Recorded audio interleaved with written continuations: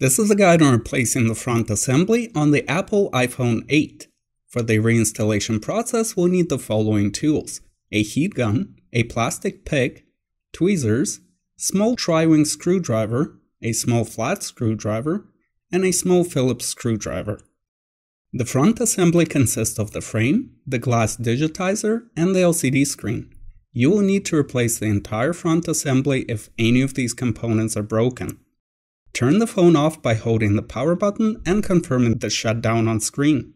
Remove two pentalobe screws at the bottom of the phone. Use a heat gun to warm the adhesive around the perimeter of the iPhone.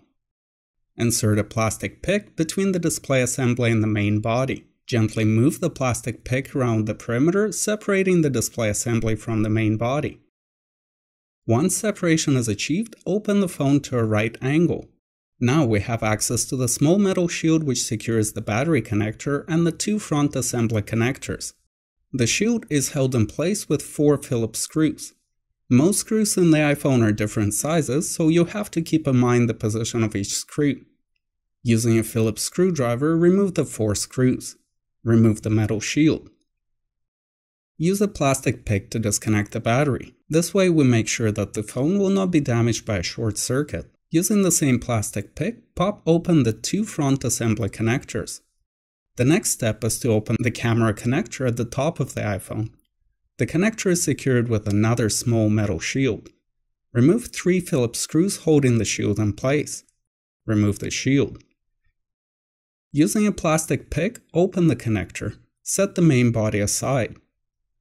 Now we have to transfer some important components from the old front assembly onto the new one namely the front camera and the speaker box, the big LCD shield, and the home button. Start with the home button. There are four tri-wing screws that hold a small metal shield in place. Remove the screws and put the shield aside. Using tweezers and a plastic pick, open the home button connector. Using tweezers or fingers, gently pry off the glued flex cable. Remove the home button. The next step is to remove the upper shield, which is covering the speaker box ribbon cable with the front camera and the proximity sensors. Remove the three Phillips screws and set the shield aside. Remove two screws holding the speaker box. Remove the speaker box. Using your fingers, gently separate the ribbon cable with the front camera and the proximity sensors from the frame. Set it aside. Now we can remove the big metal shield. There are three tri-wing screws on the right side and three more tri-wing screws on the left side. Remove the screws. Using a plastic pick, detach the metal shield from the frame.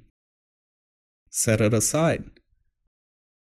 Set aside the old screen assembly. At this stage, we are ready to transfer these components onto the new front assembly. Take the new replacement part and place it on the desk. Press down the front assembly cables and cover them with a big metal shield. Replace 6 tri-wing screws, 3 on the left side and 3 more on the right side. Take the ribbon cable and carefully guide each component into its slot. Replace the speaker box. Secure it with two Phillips screws at the bottom. Guide the camera into its slot and cover it with a small metal shield. Secure the shield with three Phillips screws. The next step is to replace the home button. Insert the button with its cable into the hole from the front, making sure that the home button cable goes under the connector. Reconnect it to the front assembly. Cover the button and its connector with a small metal shield and secure it with four tri-wing screws. Now we can reconnect the front assembly to the main body. Position the front assembly at the right angle to the main body, aligning it at the right edge. Reconnect the camera cable. Replace the metal shield and secure it with three Phillips screws. Reconnect the other two connectors then reconnect the battery.